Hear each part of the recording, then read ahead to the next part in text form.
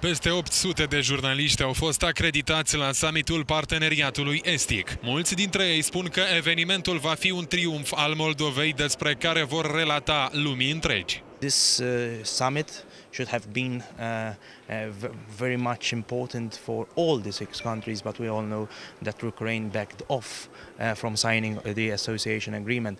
And there's this uh, initial stage with uh, Georgia and Moldova as well, and we are here to report this important and crucial thing because we all know, even in our country, Iar ziariștii din Ucraina spun chiar că invidiază Moldova. Зараз ми всі розчаровані. Ми, ми знаємо, що завтра нічого не відбуватиметься такого, але ми присутні тут, оскільки це історична подія.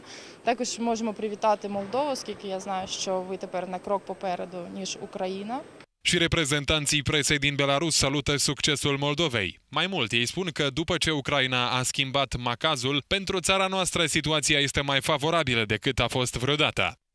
Украина э, непонятно как ведет себя и поведет, к какому решению придет, то здесь, как никогда, увеличиваются шансы у Молдовы, потому что я лично имел возможность беседовать э, с чиновниками европейскими, и из их уст слышал, что они очень довольны, как себя ведет Молдова.